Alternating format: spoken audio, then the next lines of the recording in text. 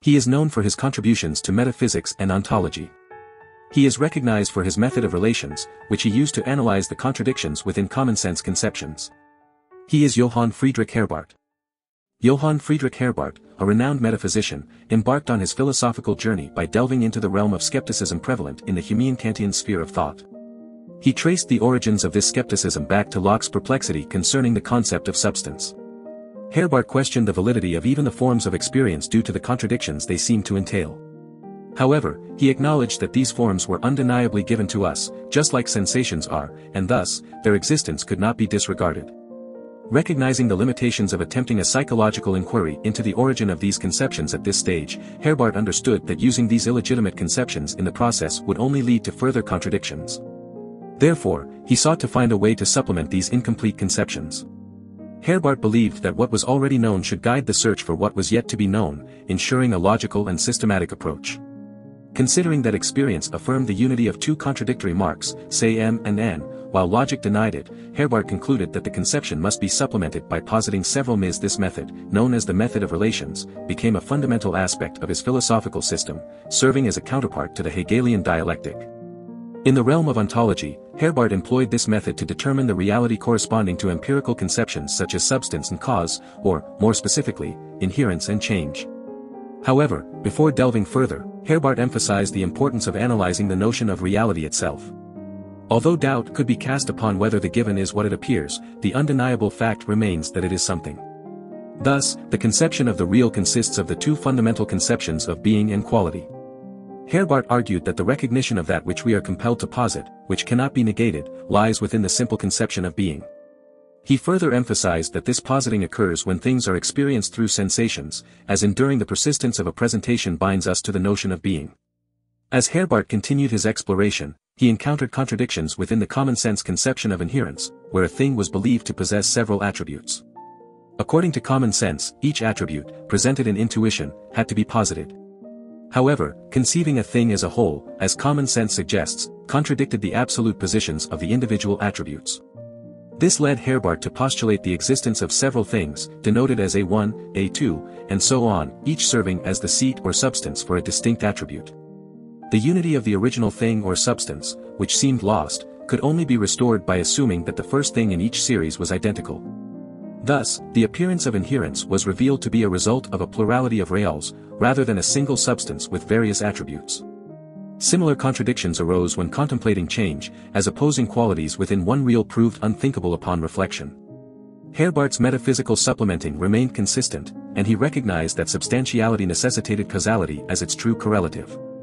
By critically examining these philosophical concepts, Herbart sought to reconcile the contradictions and provide a comprehensive understanding of reality and its manifestations. Johann Friedrich Herbart, a renowned philosopher and educator, believed that every child possessed a unique potential that needed to be nurtured and transformed through education. He understood that this potential remained unfulfilled until it was analyzed and shaped by the values of civilization. For Herbart, education was not just about imparting knowledge but also about fostering moral and intellectual development. Herbart's pedagogy emphasized the connection between individual growth and societal contribution. He firmly believed that people could only fulfill their true purpose by becoming productive citizens. To achieve this, he outlined five key ideas that composed his concept of individual maturation, inner freedom, perfection, benevolence, justice, and equity. In order to cultivate these qualities in students, Herbart advocated for a structured educational approach. Teachers were encouraged to prepare topics of interest to the children, present them, and then question the students inductively. By building on their existing knowledge, the students would acquire new knowledge and skills. The lesson's achievements would then be summarized deductively, and finally, related to moral precepts for daily living. Herbart also stressed the importance of using literature and historical stories to engage students' interests. He believed that these masterpieces of the canon would not only teach moral lessons but also develop students' appreciation for psychological and literary nuances.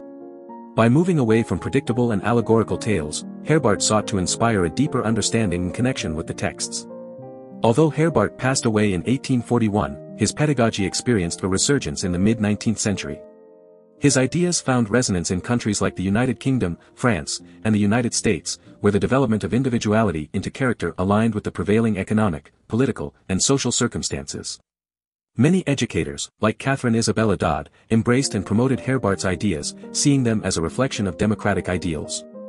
While the focus on character building through literary appreciation waned after the First World War, Herbart's pedagogy continues to influence education today. It raises important questions about the role of critical thinking and literary understanding in shaping individuals and society. Johann Friedrich Herbart, a renowned philosopher, delved deep into the realms of aesthetics and ethics, unraveling the intricate connections between beauty, morality, and human volition. According to Herbart, aesthetics explores the ideas that arise from the expression evoked by the relationships between objects that are deemed beautiful or otherwise. Beauty, he emphasized, must be distinguished from the notions of usefulness or pleasantness, as it is an absolute and involuntary attribution that arises when one attains the right perspective. In Herbart's philosophy, ethics is a branch of aesthetics, albeit the most significant one. It deals with the relations among volitions that unconditionally please or displease. Herbart identified these relations to be reducible to five, which could be further simplified.